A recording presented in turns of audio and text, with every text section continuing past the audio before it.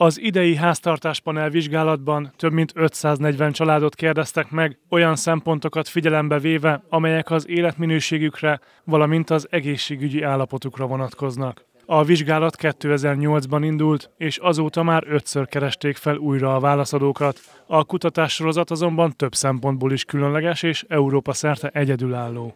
Alapvetően, hogyha leszámítunk egy-egy Európai Uniós, illetve hazai kutatássorozatot, akkor gyakorlatilag ilyen kutatás nem létezik Magyarországon, kizárólag Nyíregyházán, ami arról szól, hogy rendszeres időközönként kérdőjéves felméréssel megkérdezzük az embereket nagyon sok minden dologról, tehát többféle dimenzióról, mm, és megpróbáljuk felmérni, hogy hogyan változott, hogyan alakult a nyíregyházi lakosoknak az életminősége.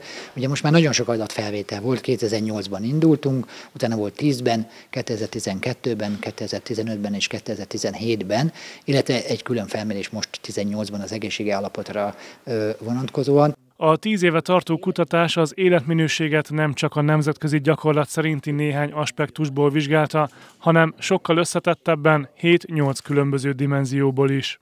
Erre a kutatás vezetője szerint azért volt szükség, mert az életminőség ugyanúgy függ az egészségügyi állapottól, mint akár a család jövedelmétől, a társas kapcsolatoktól vagy a foglalkoztatottságtól. A vizsgálat vezetője arról számolt be a Debreceni Egyetem felmérésének sajtótájékoztatóján, hogy az utóbbi tíz évben jelentősen emelkedett a nyíregyházi életminőség. Kiemelendőek azok az eredmények, amelyek a lakosságnak, a város lakosságának a pozitív egészségi állapot irányába történő pozitív elmozdulását mutatják. 2008-ban volt ugye az első felmérése a városnak és a karnak együtt, ami a háztartásban elkutatás vonatkozásában megtörtént.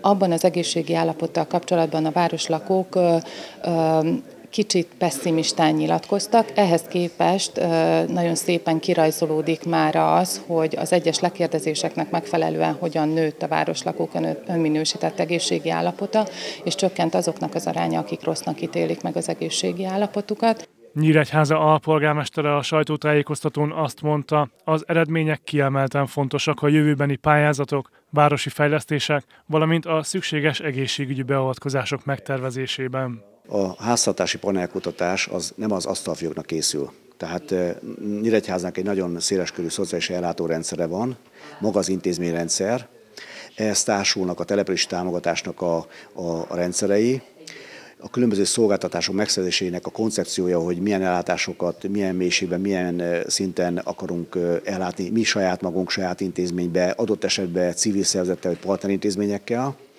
Ez egy óriási rendszer, az, a hasonló kutatások megalapozzák ezeket, a, ezeket az intézkedéseket, akár rendeletnek a megalkotását. Tehát ezek nem a levegőbe lógnak, hanem, hanem komoly kutatásokon alapulnak.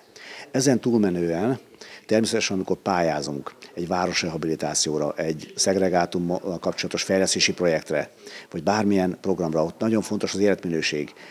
Megalapozottak legyenek azok a, azok a programok. Jászai Menyhért hozzátette, a tanulmány eredményei az egészségmegőrző városi fejlesztéseken túl az egészségügyi ellátás fejlesztését, a szabadidős sportlétesítmények, valamint a játszóterek és sportparkok fejlesztésének programját is megalapozza.